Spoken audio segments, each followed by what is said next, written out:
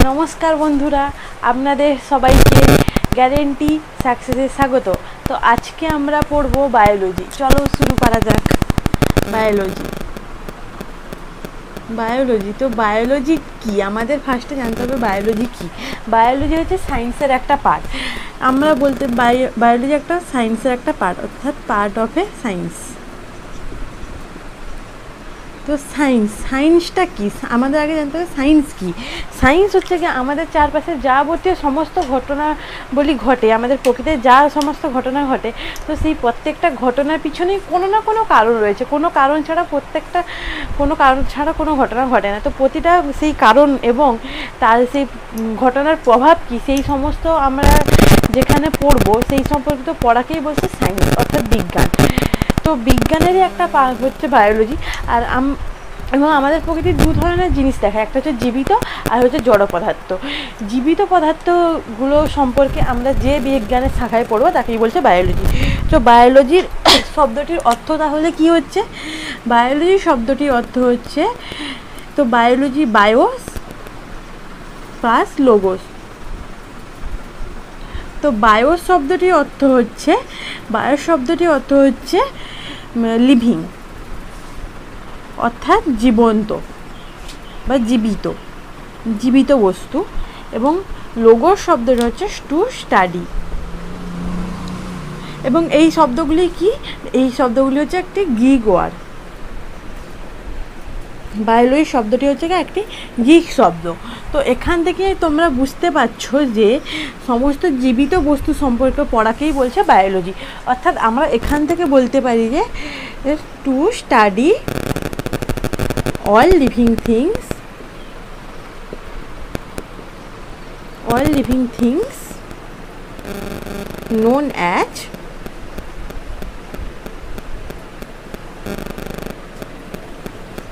biology এবারে আমরা living living তো বলছি, তো লিভিংটা কি? লিভিং বলতে আমরা কাকে বলব? লিভিং বলতে বলতে পারো তুমি, আমি, আমাদের চারপাশে যে সমস্ত জন্তু, পশু, পক্ষী, ঘুরে বেড়াচ্ছে, গাছপালা, সমস্ত কিছুই লিভিং তো আমরা কীভাবে বুঝব যে সে লিভিং ধরো তুমি বলতে পারো যে তুমি মানুষ, পাখি, জন্তু জানো, তারা তো একটা জায়গা থেকে অন্য জায়গায় যাচ্ছে, কথাবার্তা বলছে, এখান থেকে তোমরা বলবে যে লিভিং সেই লিভিং ধরো গাছপালা তো কথা বলতে পারছে না, একটা জায়গা থেকে অন্য জায়গায় যেতে পারছে তাহলে সে কি লিভিং নয়? সে হ্যাঁ সেও কিন্তু লিভিং তাহলে আমরা বুঝব কীভাবে যে সে লিভিং না নন লিভিং তো লিভিং মানে হচ্ছে গিয়ে একটা লিভিং যারা হবে, তারা হচ্ছে গিয়ে ছোটো থেকে ধীরে ধীরে বড়ো হবে। গাছপালা কথাবার্তা বলতে পারে না, এক জায়গা থেকে অন্য জায়গায় যেতে পারে না, ঠিকই, কিন্তু তারা কিন্তু একটা চারা গাছ দেখবে তো ছোটো থেকে ধীরে ধীরে ধীরে ধীরে কিন্তু বড়ো হয় এবং আস্তে আস্তে একটা সময় তার মৃত্যু ঘটে। তার মানে কি? সে ধীরে ধীরে বৃদ্ধি পাচ্ছে, অর্থাৎ তার বৃদ্ধি প্রাপ্ত হবে। বৃদ্ধি হবে। অর্থাৎ গ্রোথ হবে।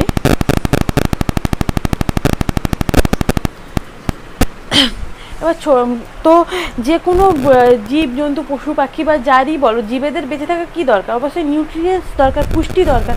তো তারা পুষ্টি গ্রহণ করবে, অর্থাৎ নিউট্রিশান নিউট্রিশান অর্থাৎ পুষ্টি। একটা গাছেরও, গাছ হোক বা পশু পাখি যেই হোক, তাদের সবাই কিন্তু খাওয়ার জন্য কোনো কোনো কিছু দরকার। তো তাদের খাদ্য দরকার। এবং সেই খাদ্য যখন খাবে, তার ডাইজেশান হওয়া দরকার। ডাইজেশান না হলে কীভাবে চলবে? তারা তো ডাইজেশান ডাইজেশান করতে পারবে। রিপ্রোডাকশান করতে পারে। তো জীব জন্তু পশু পাখি, মানুষ, সবাই কিন্তু রিপ্রোডাকশন করে। তাদের ভবিষ্যৎ প্রজন্মের জন্য যাতে তাদের ভবিষ্যৎ প্রজন্ম সুরক্ষিত থাকে, বৃদ্ধি পায়, বংশ বৃদ্ধি পায়, তার জন্য রিপ্রোডাকশান করে। এমনকি একটা গাছও দেখবে যে তার বীজ হয়, বীজ থেকে ধীরে ধীরে একটা আরও নতুন নতুন, একটা বীজ থেকে আরও নতুন, সেই গাছ থেকে আবার নতুন, এরকম অনেক নতুন একই গাছ থাকে। তো রিপ্রোডাকশান করবে।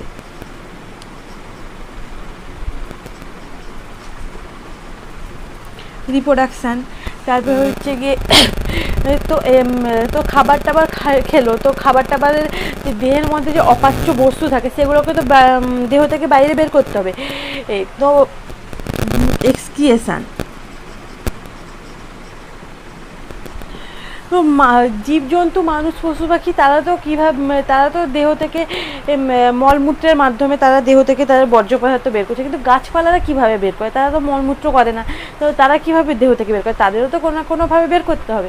তো তারা হচ্ছে গিয়ে দেখবে গাছের পাতায় অনেক সময় ল্যাকটিক অ্যাসিড বা নানা রকম ম- তাদের অপাচ্য জিনিস সব জমে যায়। দিয়ে এক সময়, তাদের বছরে এক সময় পাতা ঝরে যায়। তো গাছের পাতা, তারপরে হচ্ছে গিয়ে তাদের নানা রকম খোল খোল ছাড়ে দেখবে অনেক গাছে। তো তাদের সেই ছাল, তারপরে আবার আঠার মাধ্যমে, ও তো অনেক মাধ্যমে বেরোয়। তো এই সমস্ত কার্যকলাপ যারা করতে পারে, যাদের মধ্যে হয়, তাদেরই বলছে লিভিং অর্গানিজম তো তাহলে আমরা বলতেই পারি, জীবের যে, বিজ্ঞানের যে শাখায় আমরা জীবিত বস্তু সম্পর্কে পড়ব, তাকেই বলছে বায়োলজি তো কারা লিভিং আর নন লিভিংয়ের মধ্যে পার্থক্য তোমরা সবাই বুঝতে পারলে। চলো এবারে পরের স্টেপ আমরা দেখে নিই। এরপরে হচ্ছে গিয়ে বায়োলো বায়োলজি শব্দটি প্রথম কারা ব্যবহার করেন? বায়োলজি শব্দটি কারা প্রথম ব্যবহার করেন? বিজ্ঞানী ল্যামার্ক বিজ্ঞানী ল্যামার্ক এবং ট্রাভেনেরিয়াস ট্রাভেনেরিয়াস প্রথম আঠেরোশো দুই খ্রিস্টাব্দে এই শব্দটি ব্যবহার করেন। বিজ্ঞানী ল্যামাক এবং ট্রাভেলেরিয়াস প্রথম আঠেরোশো দুই খ্রিস্টাব্দে ব্যবহার করেন এই শব্দটি।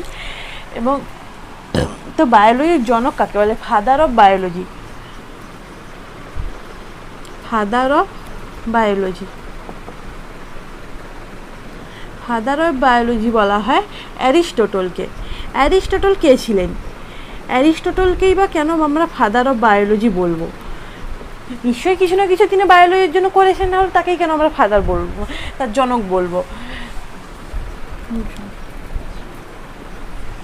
তো তিনি তিনি হচ্ছে গিয়ে বায়োলজি বায়োলজি জিনিসটা সম্পর্কে সিস্টেমেটিকলি প্রথম সুস্পষ্টভাবে এবং সু, বেশ সুন্দরভাবে প্রথম তিনি আলো, আলোচনা করেছিলেন এবং ডেফিনেশন দিয়েছিলেন এবং একটি তিনি বায়োলজির উপর তিনি বইও লেখেন এবং বায়োলজিকে তিনি দুটি ভাগে বিভক্ত করেন, বায়োলজি কিংডমকে হচ্ছে গিয়ে Animalia.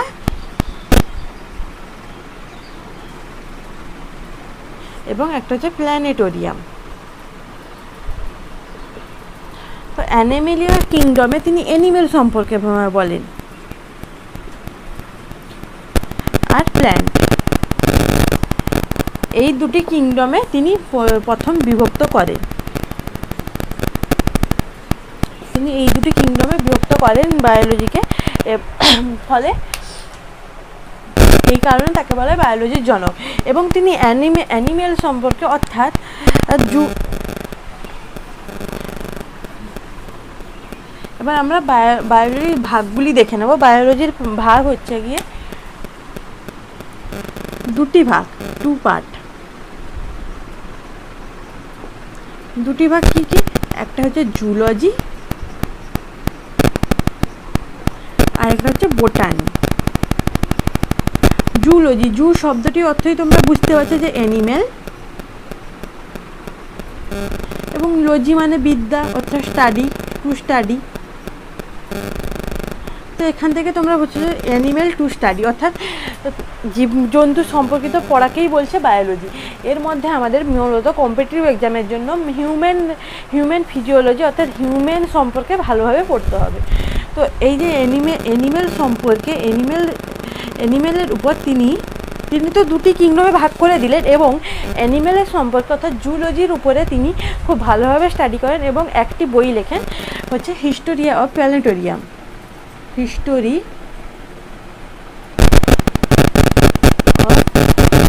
sorry sorry sorry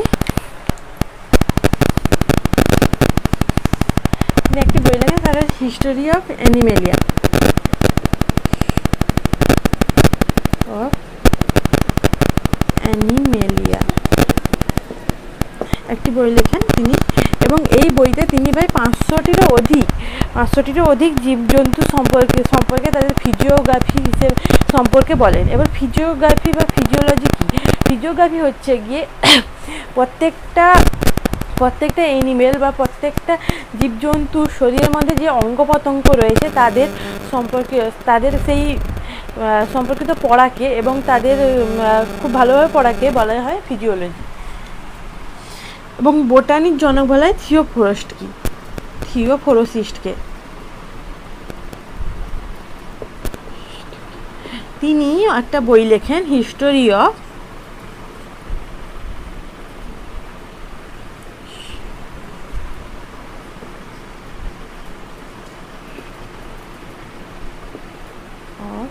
planetarium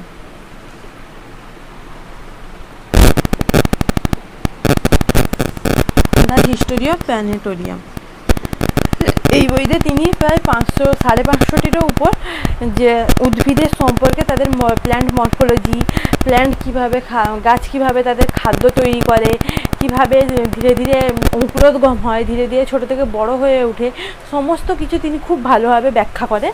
এই কারণে তাকে বলা হয় বোটানিক জনক। অর্থাৎ ফাদার অফ বোটানিক বলা হয়। এবার হচ্ছে গিয়ে জুলজি অর্থাৎ প্রাণী হোক অথবা উদ্ভিদ, যেই হোক না কেন, তাদেরই সবার সবার সব থেকে ছোট একক হচ্ছে গিয়ে ইউনিট হচ্ছে গিয়ে ইউনিট হচ্ছে গিয়ে সেল অর্থাৎ সেল ছাড়া একটা উদ্ভিদ হোক বা প্রাণী হোক, তারা কিন্তু কেউই তৈরি হয় না। সবারই তৈরি হওয়ার জন্য একটা সেলের প্রয়োজন আছে। তো একটা মানুষ বলো, সে যখন মায়ের পেটে ছিল, যখন প্রথম সে যখন তৈরি হয়, তখন কিন্তু একটা একটা সেল থেকেই সে তৈরি হয়। প্রথমে একটা সেল এইভাবে তৈরি হয়েছিল, তারপরে ধীরে ধীরে এক সেল ডিভিশন ধীরে ধীরে অনেকগুলি সেল তৈরি হতে ধীরে ধীরে এক সে বড়ো হয়ে উঠেছে। তো সেই সেল একটা সেল তো সেল সেলের পর অনেকগুলি সেল একই টাইপের অনেকগুলি সেল থেকেই তৈরি হয় টিস্যু এবং অনেকগুলি টিস্যু থেকে তৈরি হয় অর্গান। একটি অঙ্গ তৈরি হয় এবং অনেকগুলি অর্গান থেকেই তৈরি হয় অর্গান সিস্টেম। অর্থাৎ অর্গান সিস্টেম। অর্থাৎ অঙ্গতন্ত্র। এবং অ্যাট লাস্ট একটা শেষে একটি বডিতে তৈরি হয়। একটি দেহ ধারণ করে। অর্থাৎ প্রথমে একটা কোষ একটা কোষ থেকে অনেকগুলি কোষ থেকে হয় টিস্যু, অর্থাৎ কলা, এবং অনেকগুলি কলা থেকে হয় অঙ্গ, একটি অঙ্গ তৈরি হয়। অনেকগুলি অর্গান অঙ্গ থেকে অঙ্গতন্ত্র। এবং শেষে একটি দেহতে পরিণত হয়। তো সেল সম্পর্কিত স্টাডি আমরা এর পরের দিন করব। তো আজকের জন্য এইটুকুই।